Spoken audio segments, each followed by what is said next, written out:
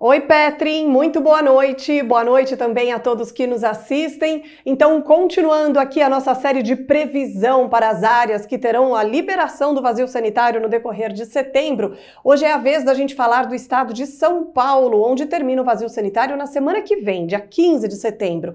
Por isso, eu escolhi a região de Assis, no interior paulista, onde só tem previsão para uma chuva mais expressiva e que deve continuar a partir do final de outubro. Não que até lá não vai chover. Tem previsão de chuva sim, inclusive para esta semana tem previsão para alguns episódios de chuva, mas ela só vai começar a se consolidar no final do mês de outubro. Até porque no comecinho de outubro tem previsão de chuva, mas depois para, abre uma janela enorme de tempo seco e só volta uma condição de chuva mais expressiva nos últimos cinco dias praticamente do mês de outubro. E aí o acumulado total vai ultrapassar 100 milímetros, mas quando a gente olha para esse gráfico, é nítido que o maior acumulado vai acontecer, a maior concentração dessa chuva deve acontecer somente no final de outubro. Bom, e para amanhã, tem previsão de chuva, inclusive no centro e sul do estado de São Paulo. Vai se formar uma área de baixa pressão entre hoje e amanhã no interior da região sul do Brasil. Por isso, tem previsão de chuva forte entre Santa Catarina, Paraná, São Paulo e até algumas áreas do sul de Mato Grosso do Sul.